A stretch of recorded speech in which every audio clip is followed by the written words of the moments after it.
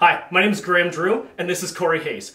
He's going to be asking me questions every week about Poly B piping. Let's get into it. Bring it on.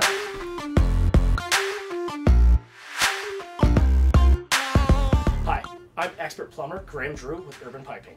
Now, a couple people have messaged in saying that they hear some weird sounds from their hot water tanks. Now, a lot of new hot water tanks won't make those sounds, but previous generations of them did. Now, it will sound like popcorn or ticking. That's called kettling, and it happens when calcium and lime buildup form on the bottom of the burner in the hot water tank, and as the hot water tank heats up, those calcium pop like popcorn, causing something called kettling or how you used to make popcorn on the old stove. Now, this isn't necessarily a bad thing, but over time it could be damaging and eventually you could crack the inner tank.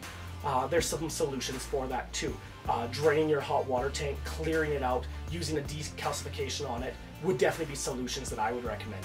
Now, if you're having kettling issues, I recommend calling a professional plumbing company, someone like Urban Piping, but hey, that's just me.